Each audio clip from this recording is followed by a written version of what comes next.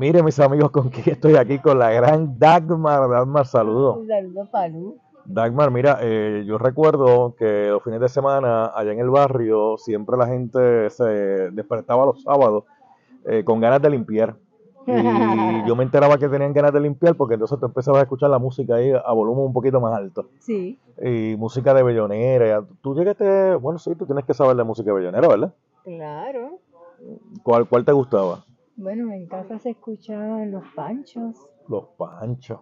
Si eso es música de Bellonera. Ese es- era el trío Los Panchos, Felipe Labor Rodríguez. eh, Blanca Rosa Gil, ¡Qué a una de mis intérpretes favoritas.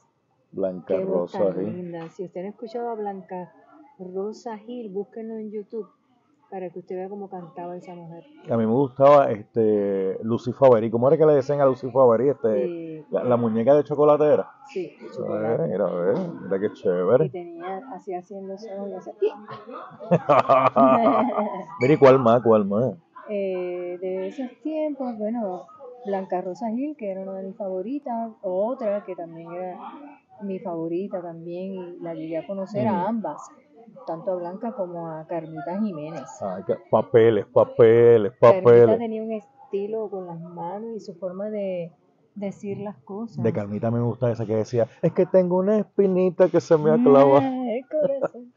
Sí, Carmita Jiménez, de los caballeros, este Gilberto Monroy. Ah, Gilberto Monroy, Ujú. padre, sí, Sí, sí. sí, Gilberto Monroy. Eh, los Panchos, que los escuchábamos muchísimo, el trío Los Panchos, excelente, un trío que yo creo que es número uno en el mundo, Sí, ¿verdad? sí, definitivo. Llegó a serlo, así que eh, Marco Antonio Muñiz, entre los varones también. A mí me gustaba, a mí me gustaba Davilita, que Ajá. cantaba mucho con Felipe Labor Rodríguez. sí. Davilita me gustaba. Y Cheito el de Bayamón. Ah, pero esos son, de- esos son de los clásicos. Ese es bien clásico Mm. porque, y tuve la oportunidad de, de grabar para él en un disco que él hizo, obviamente, en donde tuve la oportunidad de participar haciéndole los coros. Mira eso. El coro, si usted ha escuchado la canción de Porque vaya mamá, llueve todos los días, pues en ese coro estoy yo, pero en una voz, porque me pidieron que hiciera una voz como de campo. Ah, ok. Y entonces le busqué, porque vaya mamá, llueve todos los días. Mira Lo tiré más eso. campo y entonces esa voz que usted oye como de campo es la mía. Tú sabes, que, tú sabes que ese es el himno de Bayamón, ¿verdad? Sí, Ese es el himno, el himno de Bayamón. sí señor. Qué chévere. Y Moralito, ¿te acuerdas de Moralito? Eh, Moralito, Eh, ¿qué cantaba Moralito? Era música típica también, Ah, también. música, Ah, música Sí, sí, sí, sí, sí, cómo no. de, de, de, de esos, de esos tiempos, de y esos Andrés tiempos. Jiménez, que me encanta. Ah, pero el jíbaro. Sí. Andrés Jiménez. Wow. Hay muchos artistas en, en Puerto Rico, hay mucho talento, de todo. ¿tú alguna vez le echaste, le echaste un bellón a una bellonera?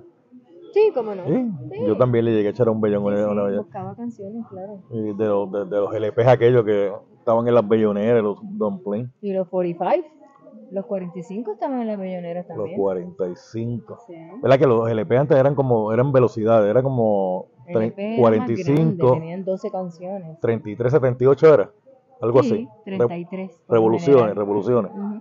Mira eso. Mira, a ver, ahora usted aquí en el muro sigue escribiendo de los que usted recuerda, de esa música de bellonera o de Nantes, que no es de tan antes, porque fíjese que esa música permanece y perdura, Todavía, A el sol de hoy. a, a diferencia de, de muchos por ahí que pegan una y después tú no los vuelves a Y escuchar más se te nunca. olvida la canción, pero esas canciones, lo que dicen de antes, porque esas Mm. son canciones de antes, de ahora y de después, eh, siempre se recuerdan, siempre. Mira, la gran Dagmar. Besos y que la pasen bien, gracias por... Bueno, mis amigos, miren con, con,